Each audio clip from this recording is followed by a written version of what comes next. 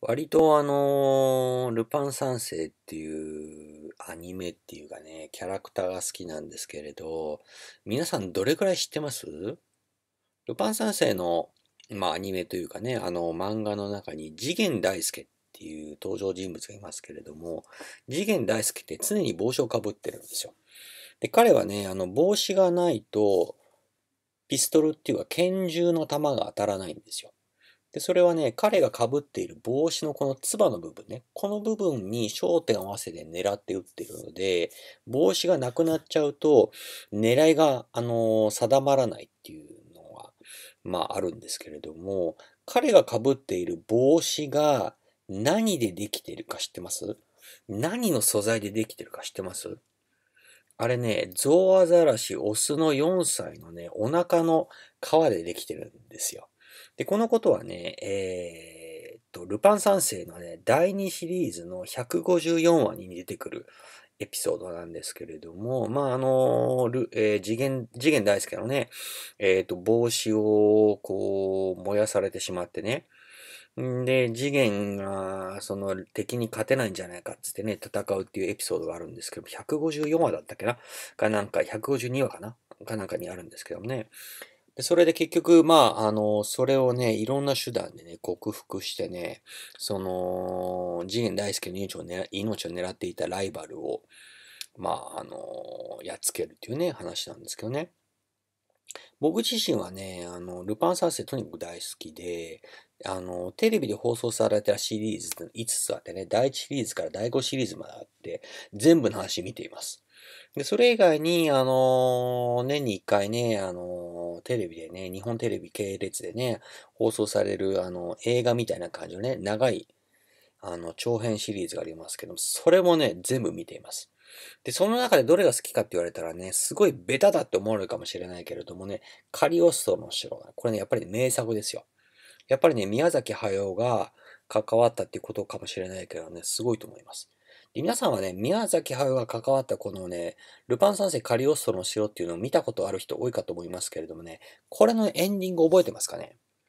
エンディングはね、カリオストロ広告から、えー主人公の、えー女性がね、ヒロインっていうのかな？ヒロインのクラリスが出てきてね。んで、あの、ルパン三世一家っていうか一味、一味かな？一味がね、あの、小さな車でわーって走ってって、それをこう、クラリスが見送って、さようならーとか言うんですよ。で、そのさようならーっていうところにね、銭形警部走ってきてね、こういう、あの、いわゆる名台詞言うんだよ。奴は、奴ってあのルパン三世ですけど、奴はとんでもないものを盗んできました。あなたの心です。ってクラスに、クラリスに言うんだよ。で、それで、こう見てる人はね、あ、すげえいいこと言った、すげえ感動したって思うかもしれないけれど、この後に、ほとんどの人は気づいてないかもしれない、オチ、オチっていうかね、こう展開があって、その後を見ると、ルパン三世たちが乗ってる車をね、なぜか埼玉県警のパトカーが追いかけるというシーンがあるんですよ。で、このカリオストロ広告っていうのは、えースイスとね、オーストリアの間にあるリヒテンシュタインという小さなね、実在する国がモデルになると言われていて、要するにヨーロッパなんですよ。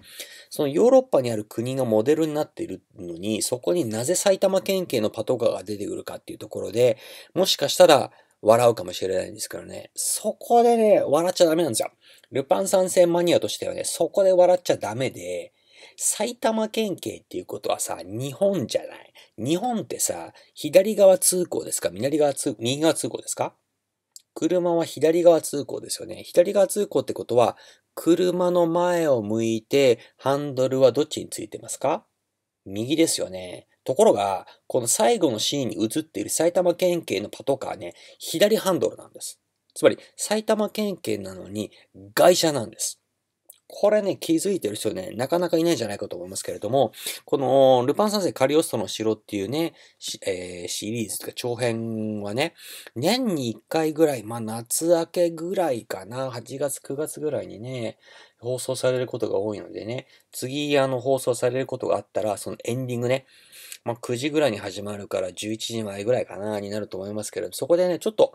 エンディングのシーンね、見てみてください。エンディングのシーン見てみて、えー、埼玉県警のね、パトカーの運転をしてる人、運転をしている警官の横に銭形警部が乗ってるんですけど、その二人のね、位置関係で、そのパトカーが外車であると。日本で考える外車であるということをね、ちょっと考えてほしいんです。でちょっと話はね、だいぶそれましたけれども、ルパン三世の中でね、えー、第1から第5シリーズまでね、テレビ放送されたシリーズがあるんですけれども、第4シリーズの中ね、第4シリーズっていうのは2015年に放送された中で、えー、放送されたシリーズなんですけれども、その第4シリーズに出てくるね、レベッカっていう、まあ、あの、ヒロインがいるんですよ。で、あの、個人的にはレベッカ大好きですけれども、そのレベッカが出てくるね、第4シリーズの第3話に、生存率0.2%っていうエピソードがあるんですよ。で、これはね、あの、ルパンの敵になる一人、えー、ニクスっていう、まあ人言えるんですけども、そのニクスにルパンが、お前の生存確率は0.2%だって言われるんですよ。で、それに対してルパンはいつでも生存率っていうのは五分五分だって答えるんっていうシーンがあるんですよね。まあそういう感じで答えるシーンがあるんですけども、個人的にはそうだと思います。いつでもね、五分五分だと思うんだよ。何事においても常に五分五分だと思うんですよ。